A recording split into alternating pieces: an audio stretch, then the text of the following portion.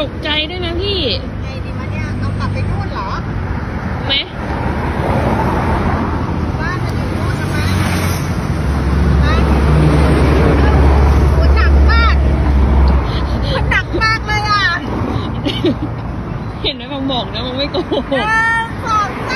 าม บ้านน้องหรือเปล่า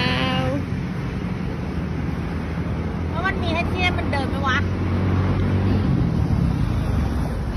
เฮ้ย เดินไงวะอย่างเงี้ย กลับบ้านเห็นใจ เปลี่ยนใจตรงนี้กลัวจะเดินยาก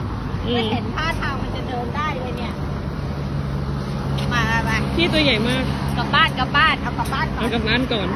ดีใจที่ย้อนกลับมาเป็นรอบที่สองอะ ถูก ตอนนั้นฟังเห็นตรงนี้เหรอ ฟังเห็นตรงนี้ฟังเห็นเต่าอัเนี่ยนะโอ้ใช่ นี่ใช่ไหมตรงนี้แหละแล้วฟังก็แบบนึกออกใช่ไหมว่าเราใกล้ถึงบ้านเราก็เลยแบบเบี่ยงเข้าใจปะเออพอเราเบี่ยงปุ๊บแล้วพี่บอกอะไรก็เลยบอกว่า เต่าพอเต่าปุ๊บพี่ก็ฮะเต่าอะนะบอกใช่เต่าใช่พี่จันเห็นแค่เส้นเหลือง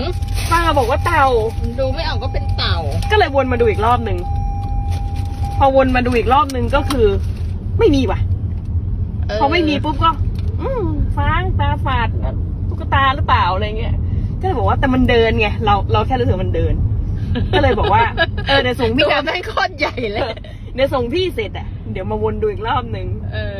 ก็บอกว่ามันก็แบบมันติดใจฮะสรุปก็มีเพื่อนร่วมทาง ก็คือไม่ยอมเหมือนกันไม่ก็คือห่วงมันว่าดูสิถนนมันขนาดเนี้ยถ้ามันอยู่ริมทางอะ เดี๋ยวถ้ามันเดินโดนรถทับใช่ไหมอืม ก็เลย เอ้ยอะงั้นวนกันอีกรอบหนึ่งเอาให้ขาเอาให้อะไรนะเอาให้มันแบบให้มันแล้วใจออเพราะว่า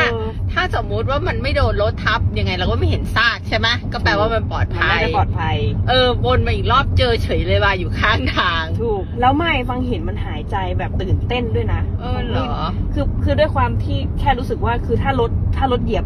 รถอาจจะพลิกอะเออเพราะก็ใหญ่ตัวใหญ่มากถ้ามอไซค์ก็หนัล้มากแน่นอนอะไรอย่างเงี้ยแต่เออ ตอนแรกก็ภาวนาว่าเออหรือว่าใครเอาไปแล้วอะไรเงี้ยแบบเห็นก่อนเราเห็นหลังเราแล้วก็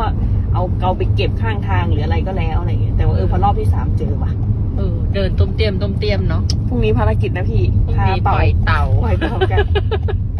ปล่อยเต่าวันที่สิบหกว่ะอุ้ยอื